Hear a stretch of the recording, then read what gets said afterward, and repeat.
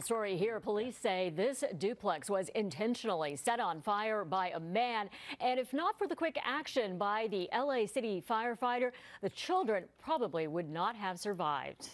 I just saw the man coming upstairs with um, gasoline.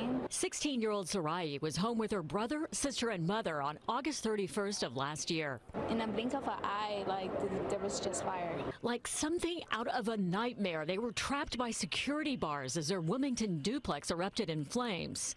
I thought we were actually going to die.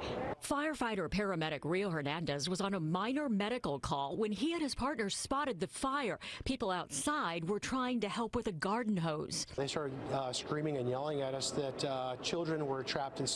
Hernandez took the hose and made his way up the stairwell to the second floor. I found the three children. Uh, they were unconscious.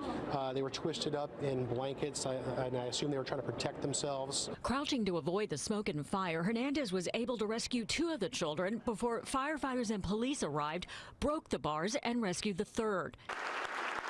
All three and their thankful mother survived, and they were present as firefighter Hernandez was honored at the Los Angeles Fire Department Foundation Awards. Mucho más.